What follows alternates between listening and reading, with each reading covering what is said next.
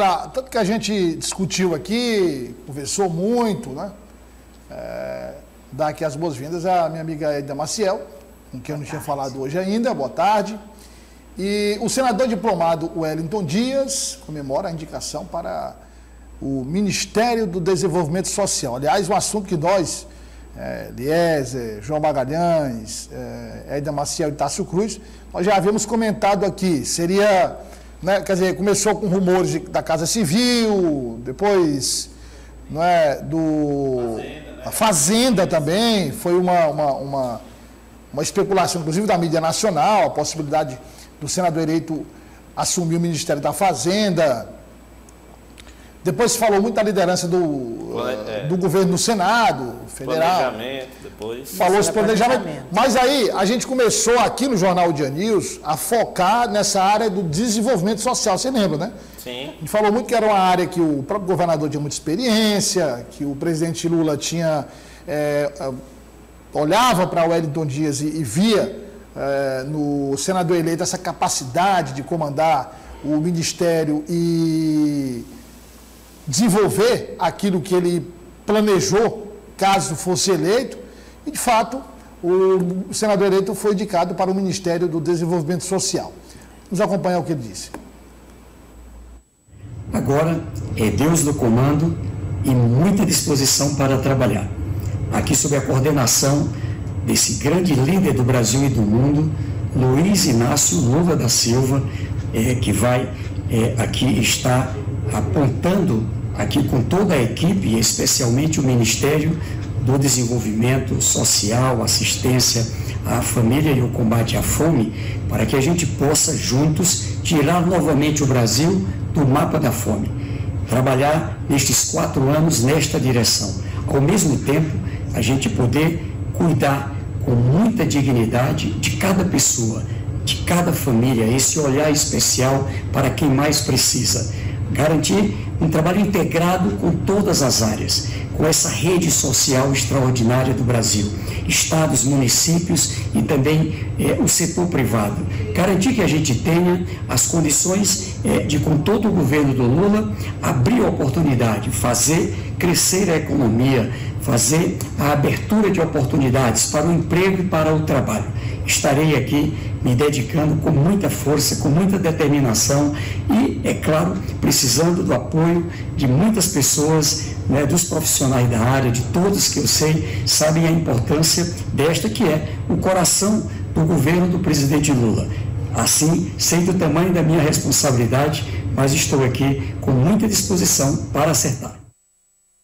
Bom, aí a fala do futuro ministro do Desenvolvimento Social, o Wellington Dias, senador eleito, e agora vamos acompanhar o que disse o presidente eleito, Luiz Inácio Lula da Silva, sobre a indicação de Wellington Dias. Ministério que ocupará o Ministério do Desenvolvimento Social do Ministério que vai cuidar da fome, que vai envolver o SUAS. Eu quero convidar o companheiro, nosso melhor índio, companheiro Wellington Dias.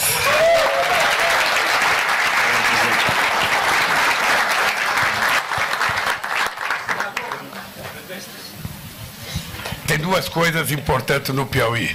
Foi o estado que nós começamos a primeira, primeiro combate à fome, na cidade de Guariba, e foi o estado que eu tive mais voto nessa eleição agora.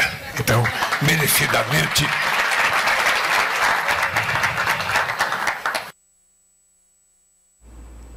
A botou, botou o, o, Lula botou o senador Hélio como chefe dos índios, logo botou o maior de todos do Brasil, é o, é, é, é o Hélio. causar ciúme. É, o cacique, cacique, exatamente, não o índio, o cacique, né, e tal. Mas a indicação de Wellington Dias para o Ministério do Desenvolvimento Social repercutiu na classe política eh, no Piauí. Nós vamos acompanhar agora o que disse o deputado Nerinho, deputado do PT, falou sobre a indicação de Wellington Dias. Em primeiro lugar, parabenizar ao nosso senador Wellington Dias e parabenizar também o presidente Lula, por ser uma pasta tão sensível e eu acredito, não tenho dúvida nenhuma, que o, ministro, agora o nosso ministro Wellington Dias, vai saber gerir essa pasta. É a área que ele se identifica muito. Então o Brasil ganhou muito, o Nordeste ganhou muito, mas principalmente o Piauí ganhou mais ainda. E desejo muito sucesso nessa nova empreitada, nesse novo desafio do nosso senador Wellington Dias e dizer que nós agradecemos aqui de coração ao presidente Lula. O Nordeste, como fez nas eleições, está sendo muito bem contemplado com os ministérios. Já teve ministério da Bahia, Pernambuco, da, da, do Maranhão, do Ceará e do Piauí. Mas não é só por ter sido essa votação, é porque as pessoas que estão indo para lá são as pessoas competentes e preparadas. E no nosso linguajar aqui, testadas e aprovadas. O deputado estadual Derinho é da base, é do PT, do partido do senador eleito, do futuro ministro do Desenvolvimento Social, mas o deputado estadual Marden Menezes também parabenizou o senador é, eleito Wellington Dias, futuro ministro do Desenvolvimento Social, o deputado Marden, que é da oposição. Vamos acompanhar o que ele disse. Agora, mais uma vez, há esse alinhamento. Governo federal do PT com o governo do estado e agora com o ex-governador Wellington Dias, ministro, né, anunciado como ministro de uma das pastas mais importantes do governo. Então, se as coisas não acontecerem numa velocidade enorme nos próximos anos, a bem do povo do Piauí, aí essa resposta né, ficará até para a própria população piauiense, que mais uma vez deu crédito né, à plataforma política dessas lideranças. Então nós vamos fiscalizar, acompanhar e, de certa forma, torcer para que o Piauí possa receber, dentro dessas perspectivas, o maior investimento possível para melhorar a qualidade de vida da nossa população. Eu queria começar com a Aida Maciel, a avaliação dela dessa indicação, quer dizer, nós acompanhamos, obviamente, as informações de bastidores, acompanhamos também o que a imprensa nacional discutia, Uh, mas nessa reta final, aí já próximo do uh, presidente Lula divulgar todos os seus ministros, a gente já cravava também que o Wellington Dias seria o ministro uh, do Desenvolvimento Social, que essa área seria uma área que provavelmente, caso o Wellington Dias fosse indicado, seria uma área que ele ocuparia ainda. Exato. Mais uma vez, boa tarde a todos. Tarde. O currículo não preciso dizer, como falei hoje na, na agenda política, quatro mandatos, deputado, senador, enfim, é, nós já conhecemos, o Piauí conhece e há algum tempo já o Brasil está conhecendo o currículo de Wellington Dias, que foi destaque aí desde a época de que se começou aí, se começaram as articulações, né? ou melhor, até mesmo podemos dizer em tudo que envolveu a questão da Covid-19, a atuação do Piauí na pandemia, a sua participação, enfim. E agora, dentro de todas as articulações políticas, como você mesmo colocou aqui, nós, colegas, já vínhamos falando, acompanhando não só a imprensa nacional, como fazendo já né, essa previsão que chegou a esse ministério, que é, Douglas e colegas, é um ministério que tem tudo a ver realmente com é, o Nordeste, com o governador Wellington Dias, com a proposta do presidente diplomado é, e eleito Lula. Então, essa só é uma consequência também de todo esse histórico é, de Wellington Dias e dessa sua atuação que recebeu nos últimos dias algumas críticas, né? Em relação aí a, a, a, ao Congresso, a sua articulação, a estar à frente também dessa questão da PEC, né, e da votação, de tudo. Ele também foi um grande articulador dessa questão. Agora, nas últimas entrevistas, inclusive, com algumas pitadas até de críticas da imprensa nacional de que Haddad teria tomado frente da articulação, mas ele participou, participou muito e está aí também o resultado. Também gostaria de falar, dar mais uma pitadinha aí para vocês também é, comentarem, da questão do, da Simone Tebet, que ao que tudo indica e a todas as informações que nós tivemos, era uma pessoa que desejava essa pasta. Inicialmente ela disse que não queria ministério nenhum, não é isso? É. E depois a gente soube que ela realmente, se fosse para uma pasta, seria é, a do desenvolvimento. Então, é, tem, causa um pouquinho, causou um pouquinho de ciúmes, de, ou de comentários, vamos dizer assim, mas está aí o Wellington Dias é, orgulhando o Piauí, né? Precisamos dizer que todo, nesse, em toda essa pré-eleição, eleição e resultado, nós tivemos piauienses que brilharam, piauienses que se destacaram, ministro é, da Casa Civil é, do governo Bolsonaro. Atual, né? Exatamente, ainda é, né?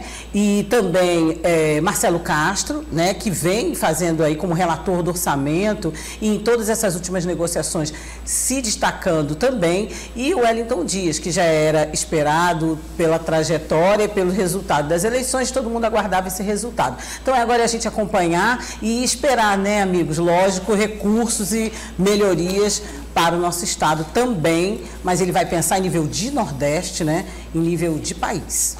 A gente, foram vários piauienses que ocuparam ministérios, né, Petrônio Portela é um deles, né? é, saudoso Petrônio Portela, mas, é, mas é, se a gente analisar num período bem próximo, digamos, um período mais contemporâneo, né? Nós temos aí é, Freitas Neto, que assumiu, hoje nem existe mais, eu acho, foi apelidado de Mirim, vocês lembram? Ministério das não. Relações Institucionais. É, acho que não. É, nem existe depois mais, dele, enfim, não, ocupou esse ministério. Ah, e depois, mas antes nós tivemos, por exemplo, Hugo Napoleão. Hugo Napoleão foi ministro da Cultura, ministro das Comunicações, e teve um outro ministério que é. o Napoleão ocupou, que eu não, não, não recordo agora. Três ministérios. Né? Educação, acho que cultura. Educação, cultura e comunicações. Aí tivemos Marcelo Castro, ministro da Saúde, João Henrique, ministro dos Transportes. É, se tiver faltando, vocês podem me corrigir. E aí, a gente pegando agora o mandato que se encerra e o mandato que vai começar, nós vamos ter oito anos aí de piauienses e ministérios. Ciro Nogueira né, ocupando ainda o Ministério da Casa Civil e o Wellington Dias que vai ocupar o Ministério do Desenvolvimento Social, João Magalhães. O impacto, então, João, é, dessa indicação politicamente para o Wellington Dias. Qual é esse impacto? É, o, o, que é que ganha, estou falando aqui em termos políticos, o que é que ganha o senador eleito? Que projeção ele pode ter ocupando esse ministério? Douglas, o Wellington Dias, é bom lembrar que ele já foi senador, né, de 2010 a 2014. Ele foi senador pelo Piauí, ah, ficou lá no Senado, não ocupou nenhum cargo no Executivo, até porque era, ele estava voltando ao, ao cenário nacional. Já, já tinha sido deputado federal, deputado federal, mas muito jovem, veio a ser governador do Piauí duas vezes, então chegou lá no Senado, adquiriu uma certa experiência, ah, mas ficou, de fato, chegou a ser líder do PT no Senado, mas depois voltou ao governo do Piauí. Agora, na sua, vamos dizer assim, retomada ah, em Brasília, ele chega com uma experiência bem maior. Não só porque foi quatro vezes governador, mas porque desde o início da pandemia ele de fato tomou um protagonismo no cenário nacional, participando efetivamente do debate em assuntos importantes, como no enfrentamento à pandemia, seja coordenando o Fórum de Governadores do Nordeste ou ah, sendo líder né, dessa temática da pandemia junto ao governo federal ganhou um certo protagonismo, inclusive no que diz respeito à questão da política fazendária, porque o presidente do Concefaz era Rafael Fonteles, mas Rafael Fonteles era o secretário de Fazenda. O governador do estado, obviamente, tinha uma liderança, uma ascendência maior no que diz respeito a esses assuntos em um cenário nacional. Então, de fato, a indicação de Wellington para o Ministério do Desenvolvimento Social só comprova que agora ele chega a Brasília em um patamar diferente do que quando ele esteve lá na primeira vez como senador. Primeiro, ele é um nome de confiança do presidente Lula. Isso ninguém tem como negar. São Sim. 30 anos, no mínimo, de uma relação cordial e bastante próxima. A Lula reconhece o Wellington Dias uma liderança em toda a região Nordeste, uma liderança que tem capacidade de articulação política. Tem inclusive coordenado as campanhas é, por exemplo, as campanhas, ele tem sido coordenador no Nordeste, sim, né? Sim. Então, uh, foi indicado para ser um responsável né, pela articulação política no que diz respeito a essa PEC da transição. Então, eu acho que um ponto essencial que a gente precisa destacar é esse.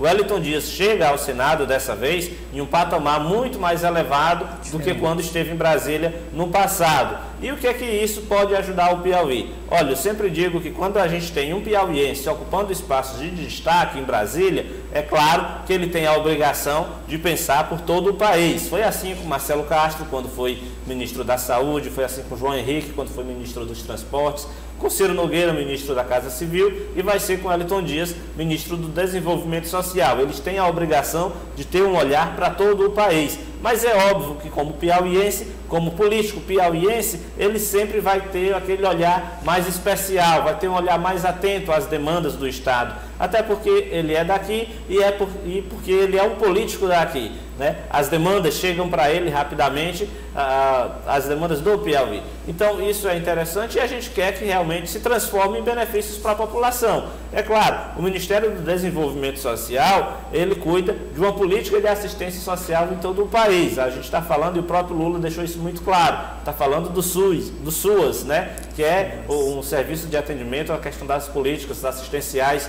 no nosso país, que tem uma relação direta com os municípios. Né? O próprio Bolsa Família vai, tem uma relação direta com os municípios, afinal de contas, é os municípios que praticam toda aquela política de buscar as famílias, enfim. Eu acredito que o Elton Dias vai aproveitar muito bem essa oportunidade, não só mantendo os programas que já estão ah, sendo efetivados, mas também levando mais ideias, como essa questão da própria busca ativa, que é algo que ele implantou aqui no Piauí, ninguém pode negar né, na área da educação, de, de, por exemplo. Desse contexto, tem Sim. algumas iniciativas que são pioneiras no Piauí. Sim, né? a própria questão da busca ativa de alunos, enfim, é algo que eu não tenho dúvidas de que o Wellington Dias vai querer implantar isso em todo o país, para que ah, os órgãos públicos não fiquem lá parados esperando que o cidadão bata uma porta. A gente sabe que tem muita gente no nosso país, infelizmente, que vive longe ainda não tem acesso à informação e que muitas vezes é preciso que o poder público vá até elas. E claro, isso precisa ser canalizado pelo Ministério do Desenvolvimento Social. A gente tem o próprio orçamento de Bolsa Família,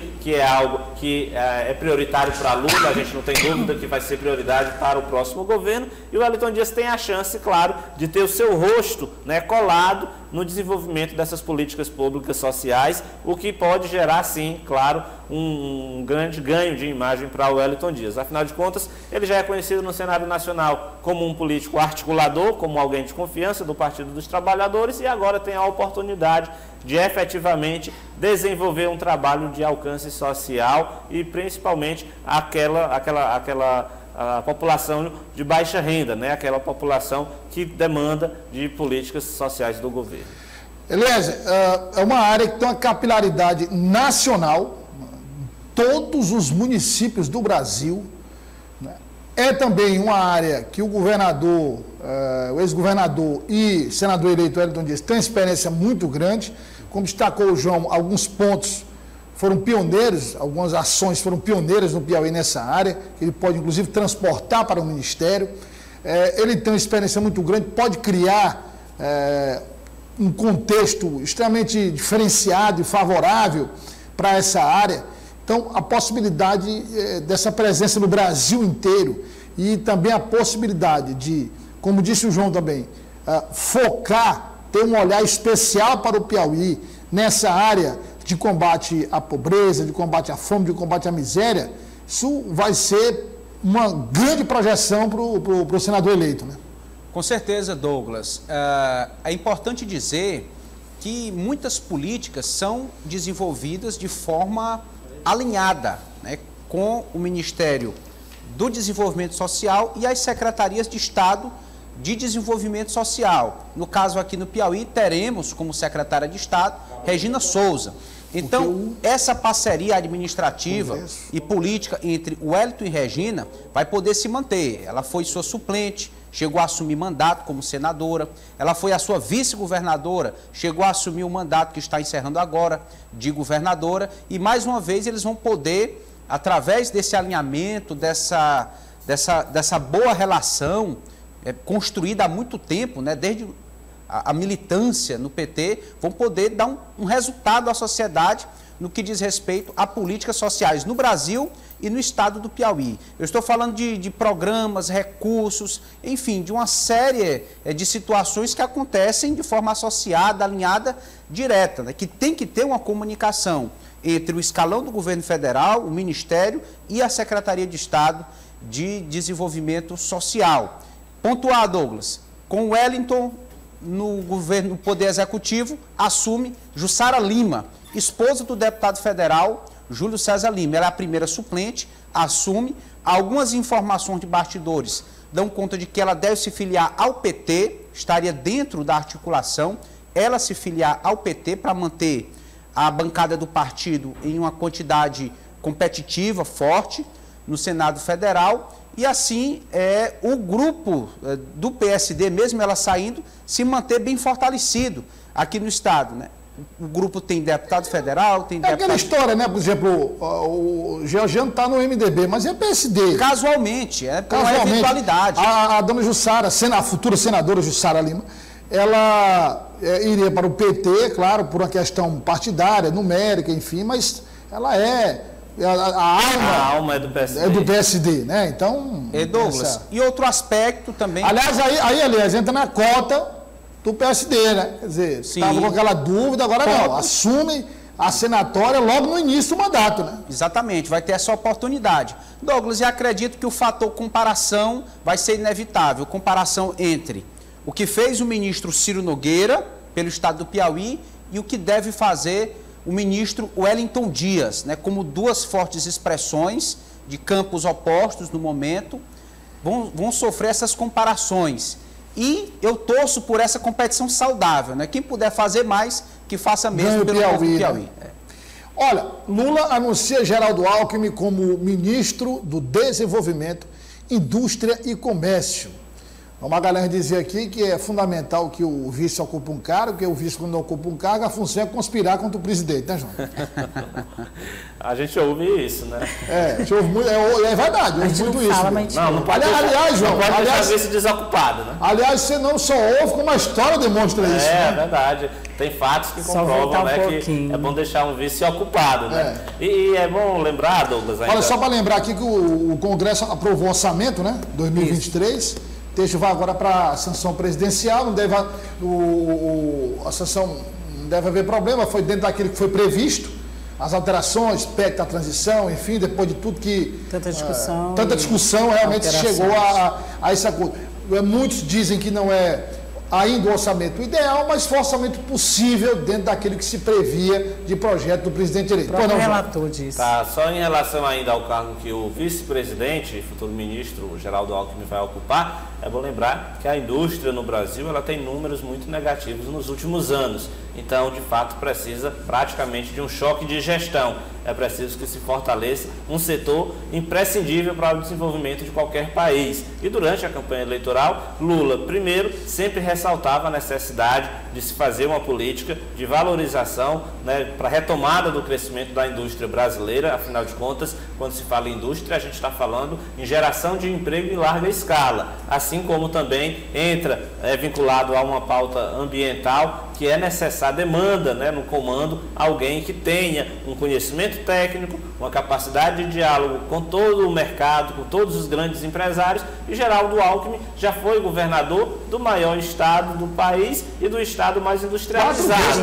Então, de fato, é alguém que conhece, né, certamente se relaciona muito bem com esse setor do mercado que precisa, de fato, ter um olhar especial nos próximos anos. Afinal de contas, os Mas... números demonstram que a indústria brasileira precisa é, o... avançar um patamar para um patamar muito maior de desenvolvimento. Por isso eu acredito que tem também a questão de que é preciso ocupar o vice, mas entra a, a, o próprio currículo de Geraldo não, Mas aí, aí tem um detalhe, ele não só tem essa experiência na área industrial, porque governou as quatro vezes, né? Sim, São Paulo. Quatro vezes São Paulo, que é o, o estado mais industrializado do, é país, mais rico do país. país. É, como ele também tem uma interlocução muito é, afinada com o agronegócio também. Que é um setor que hoje não tem diálogo com Lula. Não tem diálogo com Lula, tem não tem muito diálogo, diálogo, ele tem esse diálogo com o agronegócio, então agrega muito Geraldo Alckmin nessa, nessa área. Agora, Estava vendo aqui, uh, o, o, o, é, pelo menos essa trinca, né? É, Piauí, Maranhão, Ceará, foi muito bem contemplado. Pernambuco né? também, viu? É, porque, é, então vamos lá. Só para a gente recordar aqui. E Bahia. É, Maranhão, Flávio Diniz, governador, ministro da Justiça. Justiça. Sim. É, o Piauí, Wellington Dias, ex-governador, ministro do Desenvolvimento Social. Ceará, Camilo Santana, ex-governador, ministro da Educação. Sim.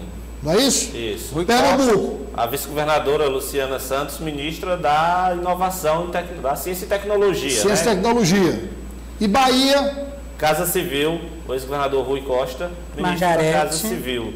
Então, Tem também ali a, a, a minha, minha, uma das cantoras preferidas, uhum. né? Que tem um trabalho social. Vozeirão, um trabalho social importante. É. Margarete Menezes como ministro da Cultura. Sim. Né? Ministro da Cultura, é, Margarete Menezes, a hora que você sair do, do. Como é o nome dele? O, que era até ator aí, Mário Frias? Mário Frias foi eleito deputado federal, não foi? Foi, foi eleito deputado Você saiu de Mário Frias para Margareth Mendes, a diferença eu vou te contar, viu? É um avanço grande. É um é, avanço enorme. Sem contar, que, rapaz, eu vou te contar. Sem contar viu? que ela abre é, o, o, o, olhar para a mulher negra, a representatividade que tanto se foi, né, Douglas e colegas? Claro! Pedida diria, e solicitada é, e prometida é, desse governo. Sobre isso eu diria que Lula sabe quem o elegeu, né? A Lula, de fato, como bem falou o Douglas, contemplou o Nordeste. Não dá para o Nordeste Sim. reclamar de Lula. Cargos importantes estão ocupados ah, por políticos. E, e, e, ele havia dito isso várias vezes. Sim, assim como também a indicação de nomes para pastas, como os direitos humanos, isso. a própria Ministério da Mulher, enfim. Ah, são nomes que, de fato, a igualdade assim, racial. E mesmo assim ainda está sofrendo críticas, no, né? É. Do Lula, número de mulheres indígenas. Lula deixou claro na minha avaliação que Mas ele sabe. está contemplando. Ele sabe quem foi que não o abandonou no momento em que ele estava, né? Ah, preso, que ele mais precisava Isso. de apoio político, ele sabe quem estava ao lado dele e aparentemente, ele pelo menos agora, ele está né? contemplando. Né? É claro que gestão é uma coisa diferente. Sim. Às vezes não adianta indicar é preciso também dar as condições, da autonomia, da orçamento e aí condições financeiras, uma, recursos, né? Uma briga muito maior que ainda vai ter, com certeza, mas eu acredito que até nisso o Elton Dias sai ganhando, porque o combate à pobreza, pelo que a gente imagina, deve ser prioridade do governo Lula. Sim. E quem faz isso é o Ministério é do Desenvolvimento tá Social. Então, ah, de fato, o Wellington Dias não tem o que reclamar, vamos dizer assim, no que diz respeito à contemplação é. no governo Lula. O senador Ciro Nogueira,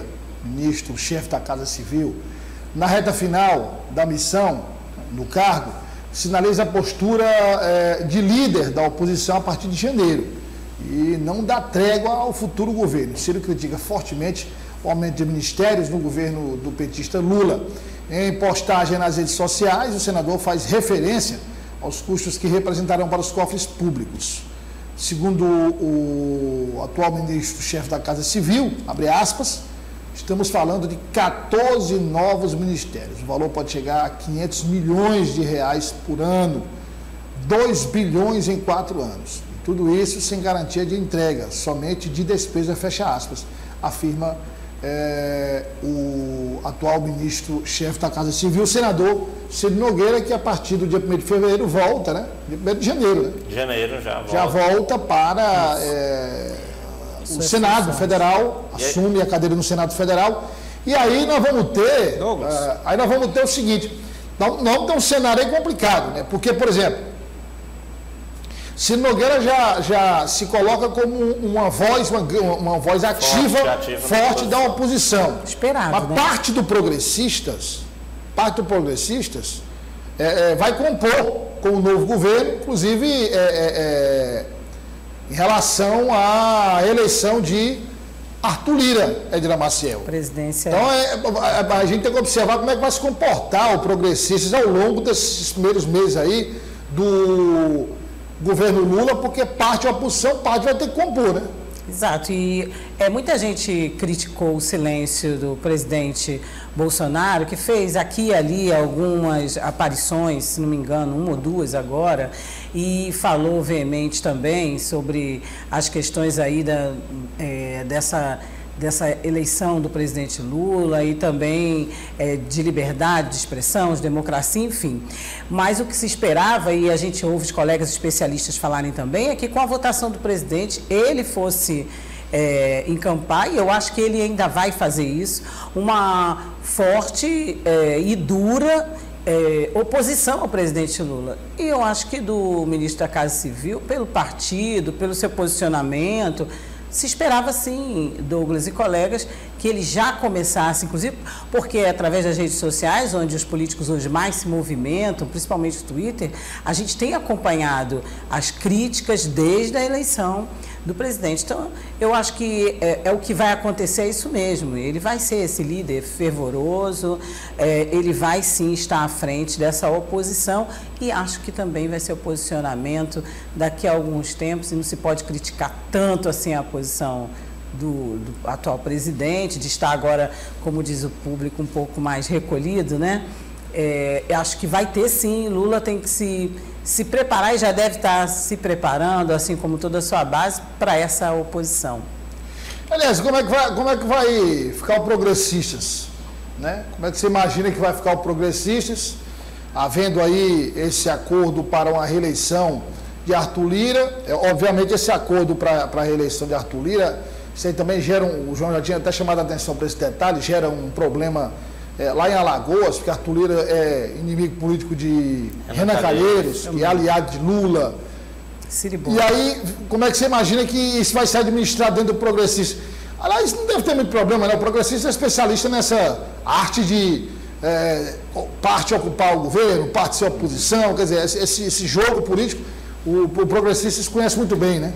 É verdade, o Progressistas é um partido de centro de grande expressão, Agora, considerando o resultado da última eleição e essas mudanças que acabam gerando fusões e, e agregação de partido, pode ser que o Progressistas deva buscar uma alternativa para se manter ainda influenciador no cenário, porque senão pode se tornar um partido menos expressivo né, pela quantidade de cadeiras. É interessante estar realmente em uma coalizão favorável para continuar com nomes de expressão ou quem sabe ocupando espaços. É claro que é, alguns integrantes do partido, pela participação que tiveram no governo Bolsonaro, tendem a perder mais espaço ainda agora no governo Lula não ter nenhum espaço, é ficar mesmo na oposição, fazendo esse papel de cobrança, de fiscalização, sem nenhum, nenhuma influência né, no poder executivo. E aí é isso que nós precisamos esperar para ver é, se outros progressistas vão conseguir espaço, se destacar, vai ter aí é, é, essa compreensão por parte do governo atual, ou se não, se não vai ter realmente é, chance né, dos progressistas ocuparem espaços que tiveram agora até bem contemplados é, no governo Bolsonaro. João, no caso do progressista seria o quê? Seria uma estratégia do partido se manter assim, então seria um entendimento do partido, não, parte vai para o governo, parte fica na oposição, ou deve-se configurar uma, digamos, disputa entre essas, esse, essas bandas do partido, essas duas bandas, essas duas, é, esses dois lados do partido, para ver quem prevalece com o passar do tempo, se aqueles ligados ao governo ou aqueles mais oposicionistas? Olha, Douglas, eu acredito na disputa, na disputa interna dentro do Progressistas. Até tem um detalhe que a gente precisa ressaltar, acho que muitas pessoas acompanharam, que na PEC, na hora da votação, da PEC da transição lá na Câmara dos Deputados, né, teve um fotógrafo, fotojornalista nacional que tirou uma foto do presidente da Câmara, Arthur Lira, fazendo uma ligação certamente para tratar de articulação ali na hora da votação, e ele estava ligando para o ministro Ciro Nogueira, ou seja, é preciso ressaltar a capacidade de liderança que Ciro Nogueira tem dentro do Progressistas. Embora ele seja hoje um ministro, o homem forte do governo que está chegando ao fim, ele consegue ter um controle, Essa até porque já demonstrou a sua influência e a sua inteligência política né, na hora de contemplar todos os seus amigos, todos os seus aliados políticos, então. Então você acha que vai, dessa, vai, vai se estabelecer uma disputa? Sim. Então, assim, primeiro que a, a influência de Ciro Nogueira no Progressistas, ela é inquestionável. No entanto, a gente sabe que na política a disputa de poder é algo constante. A gente está diariamente falando aqui de mudanças de cenários. Então, ah, inclusive alguns sites da imprensa nacional já destacaram que há uma tendência de que ao longo deste ano dentro do Progressistas haja uma espécie de disputa interna, porque há uma corrente muito vinculada à tese de que é preciso fazer oposição a Lula, mas há uma outra corrente que quer, obviamente, ir para a sombra do governo. Então, quando for na hora de decidir, é claro que isso gera, de certa forma, um certo atrito, enfim, e o que demanda dos dirigentes partidários a capacidade de tentar pacificar essa relação. Mas disputa interna, com certeza vai ter, até porque a gente está falando de um partido grande, né, influente e que, com certeza, muitos líderes têm a vontade ali de ter comando. Olha, tem uma, uma imagem da, do deputado reeleito doutor Hélio, e da deputada estadual eleita Gracinha Moraes Souza. Vamos colocar na tela aí, por favor. Aí na diplomação, o deputado estadual reeleito, doutor Hélio, pelo MDB, e a deputada eleita Gracinha Moraes Souza, é, pelo Progressistas. Dá para colocar lá no onde estava, por favor? Aí no teleprompter. Então, eles foram diplomados, é, estreitam os laços políticos e sinalizam uma união pelo desenvolvimento da cidade de Parnaíba. Abre aspas, estamos em sintonia, fecha aspas, afirma o doutor Hélio. O deputado já declarou que pretende disputar a prefeitura do município. Um dos caminhos é construir uma aliança com um grupo político liderado pelo prefeito Monsanto. Aí é está. Queria colocar agora, começando aqui com é, Edda Maciel. É, veja, já foram opositores ferrenhos de Parnaíba, o doutor já foi candidato contra Monsanto, é, Monsanto não será mais candidato à reeleição, já foi candidato à reeleição, não existe um nome assim que, Forte. que possa ser usado. É, a, a, a, deputada Gracinha não pode, é filha, não pode ser candidata, né? é o nome mais, digamos, não é? O nome mais forte. Né? O nome mais forte do grupo. É, a, a, tem alguns vereadores que se destacam lá, mas enfim, é, tem doutor Hélio, Edna Maciel. Você crê nessa, nessa aproximação e que doutor Hélio possa ser, por exemplo, um nome apoiado pelo grupo? Bom, seguindo aqui o que a gente está sempre... Essa foto aí, por exemplo, era impensável há alguns dias, né? Acabamos de falar que o João acabou de falar, na política a gente pode esperar tudo, todo dia é uma foto nova, é um olhar novo, uma leitura nova, e eles mesmos fazem suas alianças, seus acordos, ou seja, tudo é possível mas é, é uma foto e é um momento. É, existe existe a, a, realidade da região, a realidade de Parnaíba, como você mesmo disse e é, falou aí é, sobre botou aí um olhar de quem é a, a, Gracinha, qual a força que ela tem, né? O, o, trabalho que ela fez. Nós acompanhamos aqui algumas polêmicas também, né? Em, em torno aí de, de gestões, de indicações. E o doutor Hélio, a gente está vendo é, o histórico dele também. Há, para mim, Douglas, sempre por probabilidade, mas nós temos que ver a realidade da, da região. Ah, é, temos que ver também todo o histórico, o que, que ainda vai ser feito, o que, que ainda vai acontecer, porque nós temos aí ao, próximas eleições também, né? Então, é acompanhar e, e, e, e ver e acompanhar e não se surpreender se realmente é, os nomes mudarem, as figuras mudarem de lugar. Mas, é, inicialmente, é, ela é sim um nome forte e essa foto aí é emblemática, pode dizer sim. Muita pois é, emblemática é disso, era impensável essa foto há alguns dias. Assim, Exatamente. Está todo mundo eleito para que essa briga, Pois é, exatamente. E, Natal, né? E era onde não, agora sim, três meses atrás, quatro meses atrás. Outra Se alguém mandasse a foto, todo mundo ia dizer, é montagem, fake news e é tal. É improvável. Aí, aí, aí, eu pergunto, quer dizer, mas aí chega um momento, enquanto, enquanto tinha a possibilidade de reeleição do prefeito Monsanto, tranquilo. Tudo bem. Não é? Mas aí agora chegou o momento que, por exemplo, o, o deputado federal Florentino deve lançar a mulher como candidata a prefeita. Rubens Vieira também quer ser é, candidato. Rubens lá. Vieira, deputado estadual eleito pelo PT, já disse que topa concorrer pelo PT a Prefeitura de Parnaíba, e é um nome forte lá em Parnaíba. 7 mil é. votos lá em Parnaíba. 7 mil votos em Parnaíba é um nome não, forte. Em ascensão na cidade lá. O nome é ascensão na cidade, né? Naquela região inteira. Então eu pergunto. Parnaíba é, é diferente, né? Chegou aquele momento, por exemplo, dentro da experiência de Monsanto, olhar o cenário e dizer, ó, bora, o doutor Hélio tem concorrido contra aqui, mas de todos esses aqui, bora o único que dá para puxar para o nosso lado e tocar o barco é o doutor Hélio. Você acha que é possível realmente?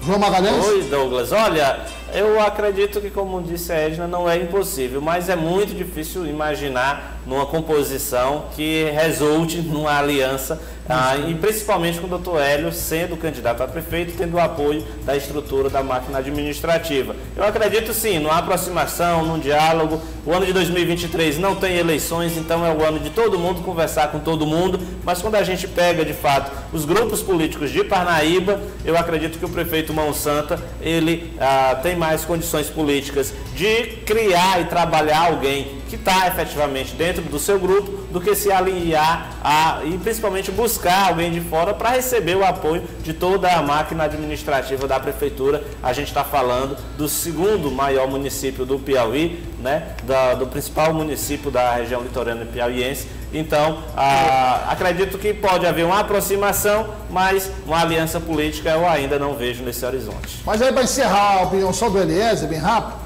e aliás, veja, que nós temos aí de, de, de, de, de possibilidade quase zero, lembrando que no passado essa possibilidade zero, digamos, era zero. Era Lucido Portela e Alberto Silva. E terminou acontecendo. Se não me engano, em 86, não é isso? Na eleição de 86. 86. É, mas ali era um contexto, né? hoje é outro contexto. O que existe lá é Zé Hamilton, Beto, Beto Teles, e, e, Monsanto, o grupo Monsanto Total. Essa aproximação aí é, é, é, é, praticamente impossível de acontecer. Então, se, se aonde, aonde você pode classificar como impossível mesmo, um, um impossível real, é, é, é, é essa aproximação, aí você olha para o outro lado, você tem Tererê, você tem o Florentino. Florentino, nós temos aí o doutor Hélio, e de todos esses aí, o doutor Hélio é aquele que Transita. Transita, né? Bem. Exatamente. Aí nós temos que lembrar que em eleição municipal, o contexto ele é muito personalista. É. Existem as questões partidárias. Certamente o governador eleito Rafael Fonteles vai ser consultado antes de qualquer aliança, o que ele pensa, o que ele acha, mas é considerar o peso individual de cada liderança dessa na cidade. União de forças serão necessárias, porque o embate vai ser muito acirrado. Então, se for o caso, adapta-se à situação. Eu acredito que não é impossível uma aliança do Hélio com o grupo do prefeito Monsanto. Olha, amanhã nós temos o dia rural. Coloca na tela aí, por favor. Sábado. Amanhã é sexta, porque eu tô. É, mas. mas sábado obrigada, nós temos a gente o, o dia rural, porque amanhã o programa é gravado, é retrospectiva 2023. Coloca o dia rural no sábado logo aí, primeiro aí. Tem aí, pastor. Vou chamar logo pro sábado, o dia, o dia rural. É, é, aí, no sábado, às 8 da manhã, o dia rural, com reprise no domingo no mesmo horário, é, lá na, aqui na, na Dia TV com a Edna e com o Raimundo. Amanhã tem comando geral? Tem. Tem Poxa, 6 horas da manhã, dia rural, né, FM o Dia, a partir das 7 também na Dia TV. E que na segunda-feira também, lembrando que tem as primeiras notícias do dia com o comando geral, né? Sim, Sim, Ed, desse recado aí, tem o dia rural, tem muita... É, poxa, eu fico com ciúme, gente. Bota de novo aí, rapidinho, aí, pra não ficar com ciúme. Nada, brincadeira. Sábado eu conto com vocês, né? Sábado e com a reprise do domingo. Todas as notícias do campo. Você, Douglas, que gosta muito do interior... Muito do campo, está sempre viajando, Renato também, né? Nosso amigo aqui, Renato meu é primo. Bom, gente, a gente aguarda vocês. Um abraço a todos, muito obrigado pela audiência. O convite amanhã para assistir o Retrospectiva 2023 a partir da.